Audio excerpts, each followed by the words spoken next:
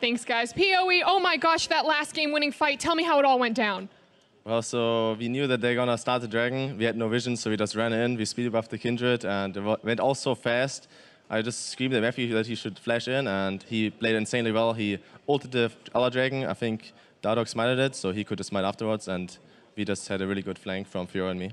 And I want to draw attention to your pick today. Fizz, how do you find the confidence to bring out all these new champs? Fizz, you were the first to bring out Akali, Ahri, out to the professional play. Well, so I think my team has full confidence in me and my picks, and we are practicing a lot around uh, my champion pool. And I think the team is really open-minded. Uh, same for when I was playing Misfits. So I think I'm just really lucky with my teammates, and I think uh, credit to my teammates. I think they played exceptionally well today. Uh, Dado, uh, no, Dhokla survived, uh, I think, a few, few, few ganks, and I think that was really good by him. And we saw your coaching staff and your support staff jump up screaming, run backstage to hug you guys. So this, obviously this was a great win for your team. But after the winning streak, when you dropped a couple games, how were you guys able to kind of regroup your mentality and come back in today?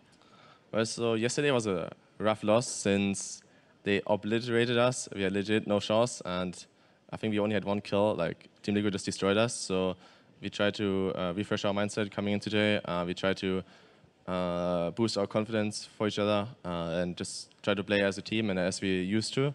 And I think it helped us a lot. And I think we didn't do the same mistakes as we did in the Team Liquid game.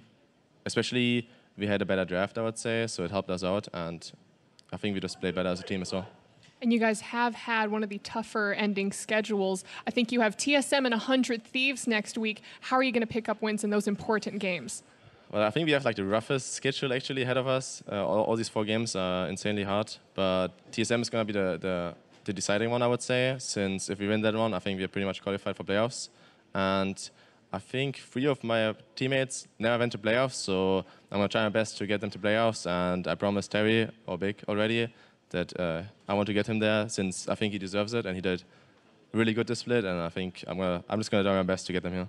Well, PoE, thank you and congratulations. And for more on the game, let's hear from the State Farm Analyst Desk.